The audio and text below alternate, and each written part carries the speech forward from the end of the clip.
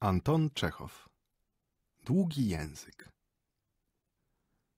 Natalia Michajłowna, młoda kobietka, która rano przyjechała z Jałty, jadła obiad i bez przerwy trajkocząc opowiadała mężowi o urokach Krymu. Mąż, rozradowany, spoglądał z rozczuleniem na jej zachwyconą twarz i od czasu do czasu zadawał pytania. Ale powiadają, że życie tam jest bardzo drogie. Pytał między innymi. Jak ci powiedzieć? Według mnie przesadzają co do drożyzny. Nie taki diabeł czarny, jak go malują.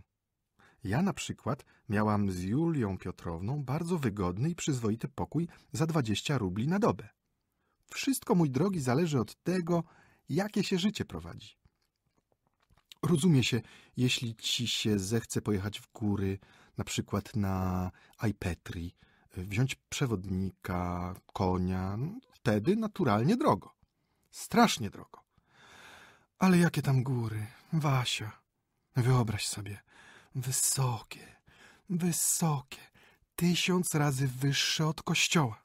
A w górach mgła, mgła, mgła, w dole kamienie, kamienie, kamienie i pinie, aż strach wspomnieć. Mm, A propos, e, czytałem tu podczas twojej nieobecności w jakimś piśmie o tamtejszych przewodnikach Tatarach. Co za świństwo! Czy rzeczywiście to jacyś szczególni ludzie? Natalia Michajłowna zrobiła pogardliwy grymas i przecząco kiwnęła głową. Zwykli Tatarzy, nic szczególnego, powiedziała. Zresztą widziałam ich z daleka przypadkowo. Pokazywali mi ich, ale nie zwróciłam uwagi. Zawsze, mój kochaneczku, czułam uprzedzenie do tych wszystkich Czerkiesów, Greków, Maurów. Mówią, że to są straszne lowelasy. Być może. No, bywają takie bezwstydne, które... Natalia Michajłowna nagle drgnęła, jak gdyby przypomniała sobie coś strasznego. Z pół minuty patrzyła na męża wylęknionymi oczyma i powiedziała, rozwlekając każde słowo. Powiem ci, Wasia, jakie są niemoralne. Ach, jakie niemoralne. Nie tylko proste kobiety albo ze średniego stanu, ale i te nadęte arystokratki. Wprost okropności. Oczom własnym nie wierzyłam. Do śmierci nie zapomnę. Czyż można się zapominać do tego stopnia, żeby... Ach, Wasia, nawet mówić nie chcę. No weźmy na przykład moją towarzyszkę, Julię Piotrownę. No taki dobry mąż, dwoje dzieci, należy do dobrego towarzystwa. Udaje zawsze świętą i nagle wyobraź sobie... Tylko, mój drogi, rozumie się to między nami. Daj słowo honoru, że nikomu nie powiesz. Co znowu mam ma się rozumieć, że nie powiem? Słowo honoru? Pamiętaj, ja ci wierzę. Kobietka położyła widelec, nadała swej twarzy tajemniczy wyraz i zaczęła szeptem. Wyobraź sobie taką rzecz. Pojechała ta Julia Michajłowna w góry. Była piękna pogoda. Ona jedzie ze swoim przewodnikiem pierwsza, ja z tyłu za nimi. Ujechaliśmy ze trzy, cztery wiorsty, gdy nagle wyobraź sobie, Julia wydaje okrzyk i łapie się za piersi. Jej tatarzyn chwyta ją za kibić, gdyż wypadłaby z siodła. Ja ze swoim przewodnikiem zbliżam się do niej. Y, Co takiego? Co się stało? Och, krzyczy, umieram, niedobrze mi, nie mogę dalej jechać. Wyobraź sobie mój przestrach. Zatem wracajmy, powiadam, do domu. Nie, mówi, nie mogę wracać. Jeżeli zrobię jeszcze jeden krok, to umrę z bólu. Mam spazmy. I prosi i błaga mnie i mego Sulejmana, żebyśmy wrócili do miasta i przywieźli jej kropli, które jej pomagają.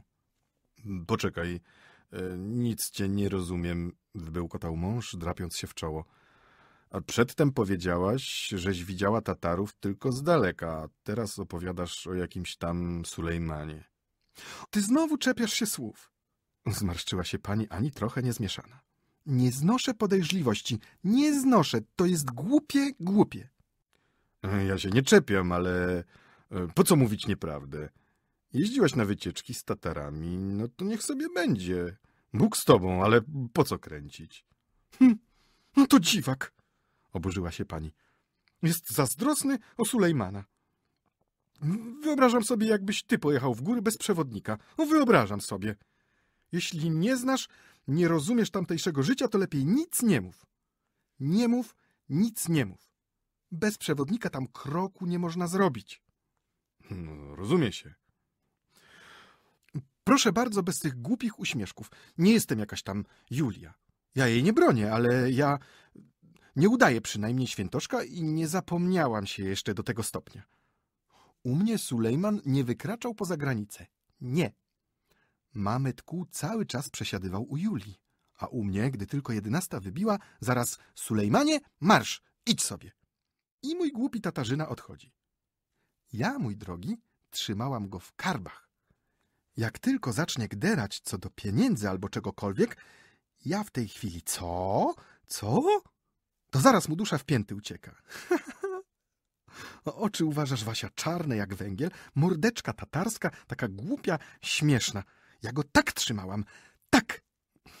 Wyobrażam sobie, mruknął mąż, kręcąc kulki z chleba. Głupi, Wasia. Ja przecież wiem, jakie ty masz myśli. Wiem, co ty myślisz, ale zapewniam cię, że on nawet podczas spacerów pozostawał u mnie w granicach. Jedziemy na przykład w góry albo do wodospadu, ja mu zawsze mówię, Sulejmanie, jechać z tyłu. I zawsze jechał z tyłu, biedaczek. Nawet podczas... W najapetyczniejszych miejscach zawsze mu mówiłam, jednak nie powinieneś zapominać, żeś ty tylko Tatarzyn, a ja żona radcy stanu. Pani zaśmiała się, potem prędko się obejrzała i zrobiwszy wystraszoną minę, zaczęła szeptać. Ale Julia... Ach, ta Julia... Rozumiem wszystko, Wasia. Dlaczego nie zabawić się, nie odpocząć po pustce światowego życia? Wszystko to wolno. Baw się. Nikt cię nie potępi. Ale brać to poważnie? Urządzać sceny? Nie. Mów, co chcesz. A, ja tego nie rozumiem. Wyobraź sobie, ona była zazdrosna. Czy to nie głupie? Raz przychodzi do niej mametku, jej feblik. Nie było jej w domu, no zaprosiłem go do siebie. Zawiązała się rozmowa, to i owo, oni, wiesz, są okropnie zabawni. Niepostrzeżenie tak spędziliśmy wieczór. Nagle wpada Julia, rzuca się na mnie, na mametkuła, urządza nam scenę, pfuj!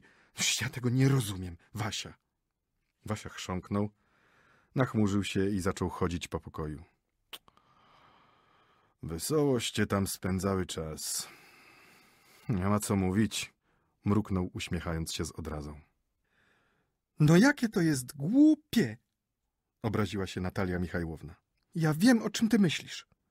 Ty zawsze masz takie brzydkie myśli. Nie będę ci już nic opowiadała. Nie będę. Kobieta wydęła wargi i umilkła.